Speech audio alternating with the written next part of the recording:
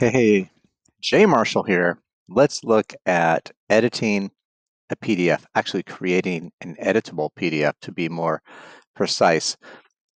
You can do that with Adobe Acrobat DC. If you don't see a shortcut on your desktop, you can go to your Start menu and locate it there as well. Once you open it up, you should be prompted to sign in. You can continue with Google and use your NMUSD login credentials. Mine is already um, plugging in quickly here because I've done this um, earlier today. So I'm going to minimize this for now. So here you will see a button named See All Tools. Please click it and scroll down to Forms and Signatures where you will see Prepare Form. Go ahead and click Prepare Form. Here you can select a file that you already have on your computer. You can scan a document or start from scratch. I already have a PDF, so I'm going to keep it on single file, select a file. So if I click, I can find it. It's in my downloads, and I can choose open. You'll see it creates a little thumbnail, and let's start this off here. It's located in an area where they feel that a text um, field is is wanted, and they are correct. So one thing I'm going to do is I can drag, drag it up a tiny bit if I want, and I can resize it a bit. There we go. Excellent. So I can do some of that. The other thing I can do is I can right click on it and go to properties to see what the properties are of this text field. I'm going to ignore this. If I go to appearance, I can mess with my text. So I can customize my text if I'd like. Font size, you see you have some options. You can also type in an op a, a number if you want a larger um, text, but be careful if the you know uh, this is going to be asking for a, a family name, their last name, and if they have a long name, maybe I will choose auto and it will autofill that box. That might be a good place for me to start. I don't want it to spill over or go too too far out of the box. It might not look very good. If I go to options, you'll see that there's a spell check option. There's also multi-line, which allows more than a, a single line entry in the text field.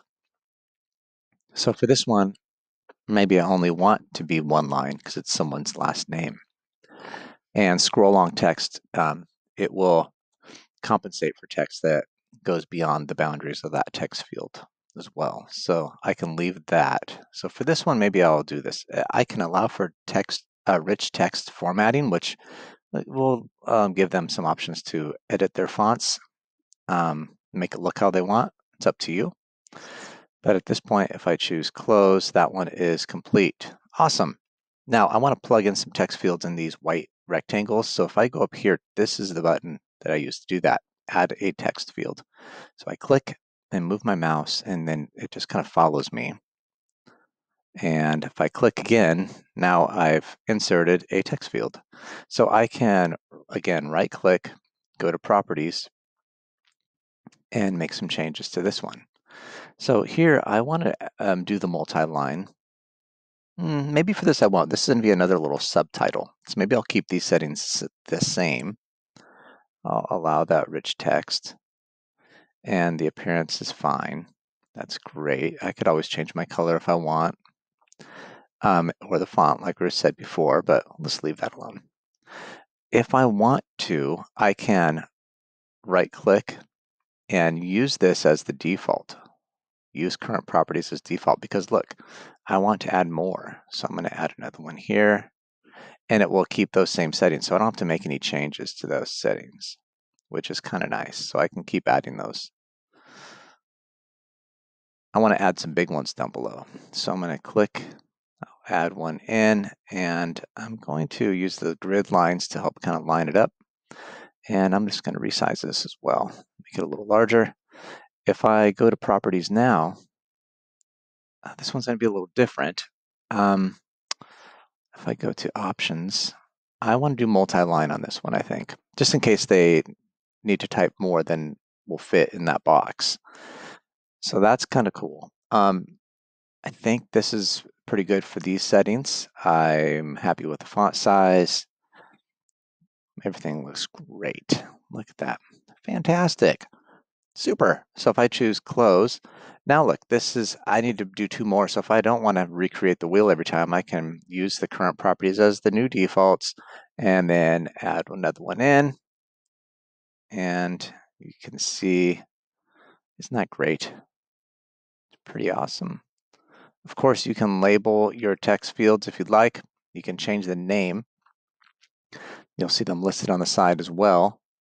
Um, you can rename them here by right-clicking and renaming.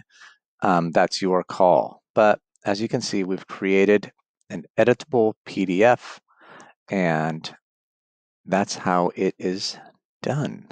Fantastic. I hope that helped, and I hope you have a lovely day. If you have any questions, you can reach out to edtech at nmusd.us.